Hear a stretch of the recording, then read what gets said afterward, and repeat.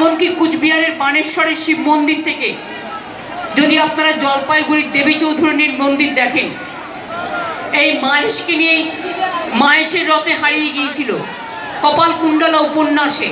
আপনারা জানেন বঙ্কিমচন্দ্র চট্টোপাধ্যায় যে কপালকুণ্ডলা উপন্যাস লিখেছিলেন, রাধারানী হারিয়ে গিয়েছিল এই মাহেশের রথযাত্রায় এসে। অনেক ইতিহাস, অনেক সাক্ষী।